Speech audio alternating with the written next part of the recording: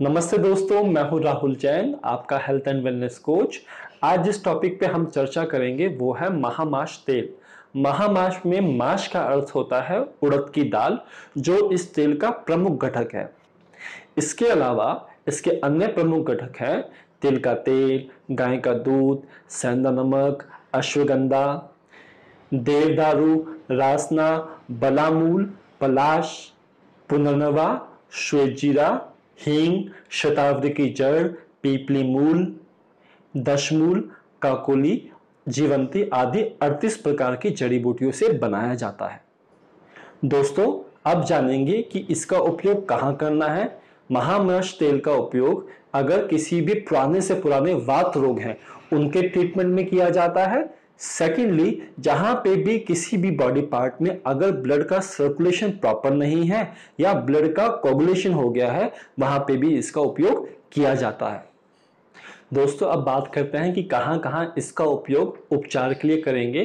तो सबसे पहले इसका उपचार जब भी आप करें तो बाह्य उपयोग के लिए करना है, यानी कि इसका उपयोग मालिश के तौर पे करना है। सबसे पहले करेंगे वात रोग के ट्रीटमेंट के लिए। वात रोग यानी कि अगर हम बात करते हैं सर की तो सर में माइग्रेन हो रहा है, हेडेक हो रहा है, वहाँ पे भी लाभ करेगा।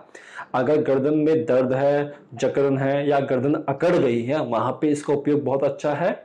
कंधों में दर्द रहता है, कंधों में चकड़न हो गई है अगर कमर अकड़ गई है, जकड़ गई है या बहुत लंबे समय से कमर में दर्द है, वहाँ पे भी उसका उपयोग बहुत ही कारगर है। साइटिका के रोगों में भी यह बहुत ही अच्छा काम करता है। इन सब के अलावा, अगर आपके जोड़ों में दर्द रहता है, यानी कि आर्थराइटिस की प्रॉब्लम है, वहाँ पे भी ये बहुत ही लाभ प्रदान करता है। किसी अंग में सुन्नपन होना, यानी कि कोई अंग सुन हो जाता है, या अगर हमारी मांसपेशियाँ कमज़ोर है, हड्डियाँ कमज़ोर है, वो भी इससे मज़बूत होती है। एक बहुत ही इंपॉर्टेंट यूज़ है इसका, वो है पक्षाघात, यानी पैरालिसिस के। यानी कि पक्षाघात और पैरालिसिस के केस में जहाँ यह जमे हुए रक्त को हटाता है और उस एरिया में रक्त की आपूर्ति को पूरा करता है। यानी कि उस अंग में रक्त का फ्लो बढ़ा देता है, जिससे पक्षाघात, यानी कि पैरालिसिस में भी बहुत आराम मिलता है। दोस्तों, इन सब के अलावा अगर आपको बहुत थकान हो रही है, आप आलसी हो गए हैं तो आप इसकी फुल बॉडी मसाज भी इस ऑयल से कर सकते हैं, जिससे आपको तरोताजा फील होगा। आप किसी भी मसाज सेंटर में जाते हैं तो वहाँ पर अक्सर फुल बॉडी मसाज के लिए इस महामाश तेल का ही उपयोग कर इसकी मालिश करने से शरीर में हल्कापन आता है। दोस्तों, इसका कोई साइड इफ़ेक्ट नहीं है, यानी कि आप इसको बिना किसी टेंशन के यूज़ कर सकते हैं।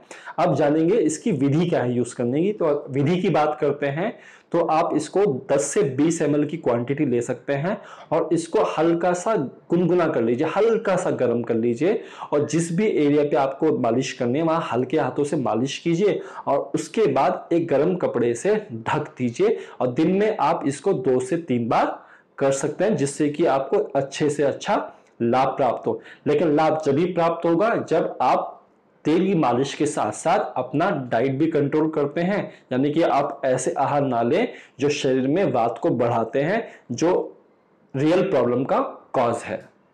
दोस्तों, अगर हम बात करते हैं कि महामाश तेल हमें कैसे प्राप्त होगा तो मार्केट में अलग अलग डिफरेंट आयुर्वेदिक कंपनियाँ इसकी प्रोडक्शन करती हैं, जैसे कि डाबर पतंजलि और बैद्यनाथ। आप तीनों में से किसी का भी ले सकते हैं। अगर आपको नहीं मिलता तो इस वीडियो में डिस्क्रिप्शन में मैंने इसका लिंक दिया हुआ है। आप ऑनलाइन भी इसका परचेजिंग कर सकते हैं। दोस्तों, आज का ये वीडियो कैसा लगा? प्लीज़ मुझको ज़रूर बताइएगा।